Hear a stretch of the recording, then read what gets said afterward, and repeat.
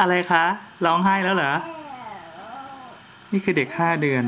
เพิ่งห้าเดือนวันนี้วันที่สิบเอ็ดอ้าวร้องไห้เลย จะไม่ให้พ่อถ่ายหน่อยเลยเหรอ เวลา พ่ออยู่นี่ค่ะ เย้ยิ้มแฉ่งน้ำลายยืดเลย น้ำลายยืดเลย ใครที่นั่งได้แล้วเนี่ย โอ้ยนั่งปล่อยเท้าด้วยปล่อยเท้าด้วย เวลา เวลาอายเลียแล้วเลียแล้วแล้ว